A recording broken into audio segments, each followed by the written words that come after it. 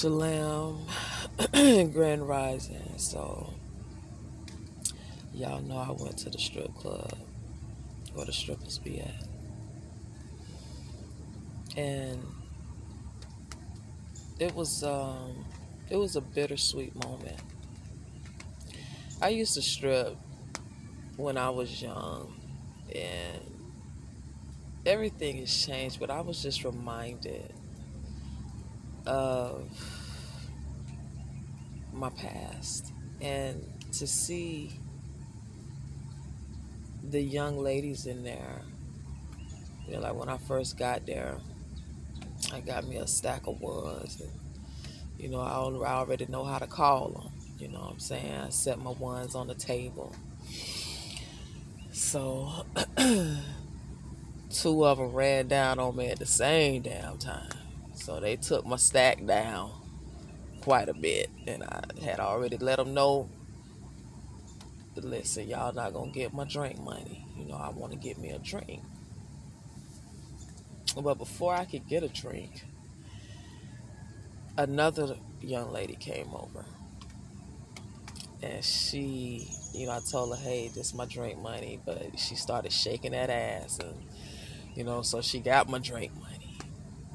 But when she started shaking that ass, you know, it was an older. And I was like, okay, you in here fucking. and I had become sad because I realized, like, you know, does if this young lady had somewhere to go, you know, like her family, would she be in there selling her body? And so it was confirmed because the first two ladies that came, you know, the men actually walked away from them once I let them know, okay, I'm done. You know what I'm saying? I gotta give me a drink. And so, you know, they kind of stopped dancing and was standing around for a minute. But the guys that were standing behind me, because I was sitting at a table, they walked away like, oh, bitch, we ain't got nothing for you. She, you know, she done gave y'all her money, but she ain't get mine. But when this other young lady came, um, after I I finished tipping, some guys had walked back over. The same guys actually, they walked back over and started talking to her and shit like that. So you know, with the older and all of that, you know, putting two and two together, and it's like, okay, that's what she's out there doing. And when she said to me, she said, Thank you so much for tipping me. Just the energy, even before these guys started talking to her and shit, I knew she was the hoe in the club you know, and everybody kind of knew it because it's like the energy. People was kind of looking at me funny, you know. I'm the new face, and I saw how she was looking over at the first two girls, and you know, it was like she, she was just like every. It just seemed like everybody thought that they were better than her, but she was a beautiful young lady. So I just wanted to. I actually wanted to go live, but it's early and I'm still trying to get my energy together. But I had become sad because even though, you know, we're grown according to the law when we turn 18 years old, but what is really going on um, where our daughters, and it's, and it's beautiful, beautiful um, women, young women that are down to teenagers, you know, because you can strip when you're 18 years old. So, what is going on in the homes um, where these young ladies are having to go out here and do this? For myself, personally, I graduated high school with an academic and an athletic scholarship to college. So I should have had I should have never had to step foot inside of a strip club. But what happened to me?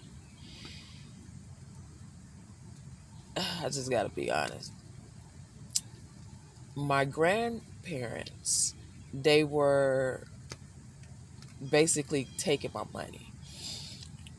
What made me move and leave home one day I came home from basketball practice and my grandmother gave me an envelope and it had some money in it and a stub, a check stub in it. And when I looked at it, it was one of my scholarship checks. And so they had cashed my shit and went to the dog track and then gave me what was left over. And when I got upset about it, you know, they told me, well, we've been taking care of your ass. And so I felt some type of way because during my time in school, nobody came to my basketball games, and I was told, "Why the hell am I bas- bouncing a basketball up and down a court, wasting my time?" But I had to start making plans for myself at a young age. I had to figure it out at a young age because even though we have people that take care of us and that let us live in their houses, we don't really have that support. You know, and so I was just reminded that, well, for one, for me, I could always go home. Even though all that shit happened, I could always go home. That's one thing I was grateful for. I didn't have to be out here, but I chose to because I didn't want I wanted to be independent. But I could I could always go home, but I had left home after that happened.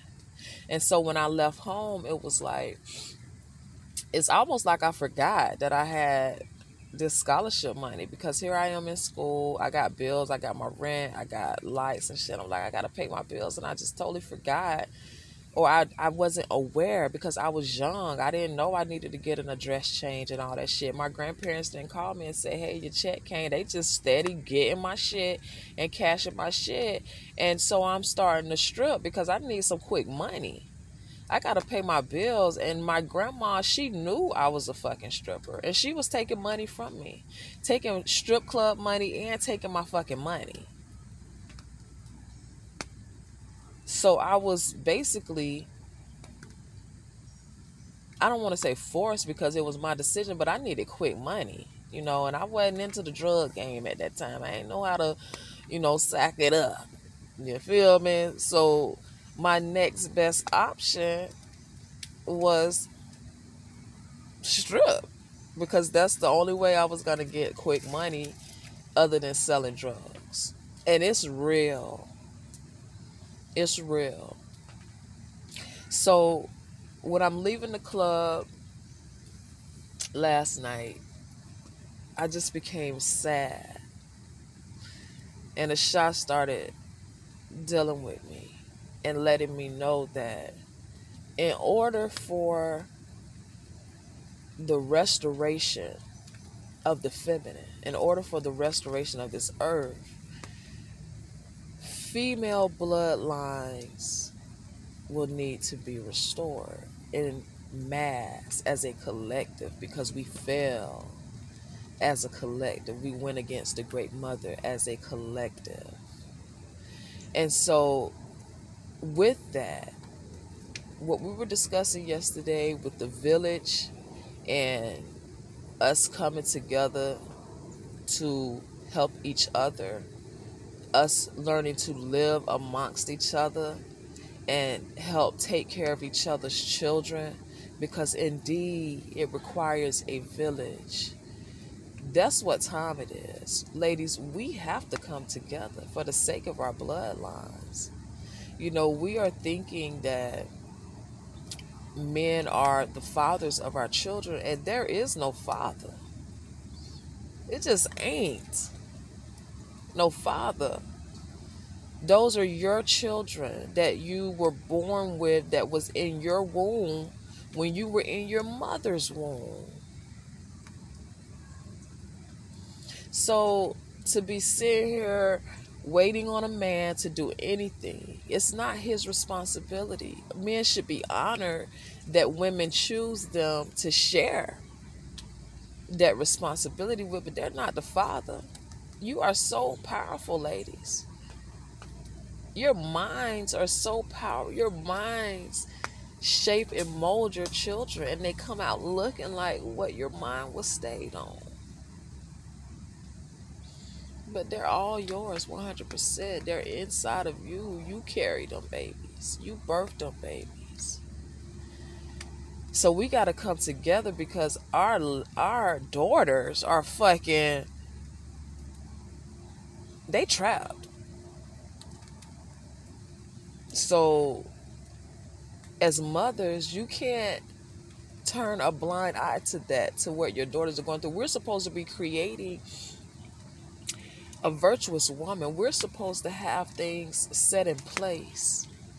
So when our children do come of age, they don't have to be forced to go to college and learn lies or become a slave for this system. They should be able to have a platform set up where they can come and create with their own minds their own wealth and have that support from their mothers. But like we said, and like we've been saying, the women are chasing men. The women have put men before their children. To even ask a question of who should eat first. You a grown ass man. Ain't no man supposed to be eating before your children. We got it all fucked up in the head, man. And we got to get back right because our daughters, they trapped, they in prison. They are wandering these streets and the the the environment yesterday with the weather because it had rained. It was so dark and gloomy and cloudy and shit. Like it felt lonely out there. So we got to get it together, ladies. and we have to truly and really create these safe spaces for ourselves and our children. Our daughters need a lot of healing, man. They carry the blood do you understand? The bloodline runs through the mother and through the daughters. And if they all fucked up, we're just going to continue producing pain and suffering with and through tr- children that we're birthing because of our own pain then we don't we just throw them away a friend of mine, she said, you know, with your culture, um, when you're 18, that's it. You know, in my culture, children stay until they get it, until they got it. We're not just going to throw them out there to the wolves. And it's true. We throw them out there to the world. You 18, get your ass out my house. I don't give a damn. And it's just so brutal, man. These are ba- these are babies out here shaking that ass and hopping on the dick for the mighty dollar. All type of diseases and you know, Kanye said it best, the prettiest ones have the lowest self-esteem. And it's so true. We have to do better. We must do better. Things are not going to get better for females unless as a collective we make it better. We have to love on our daughters. We have to nurture our daughters. We have to be there for our daughters. They carry the blood. If we wasn't producing daughters, that would be it. Men don't carry children. They can't create children. Females do. So I just wanted to drop that knowledge and wisdom this morning because I woke up still sad and feeling some type of way. We'll be back live this Sunday. Peace.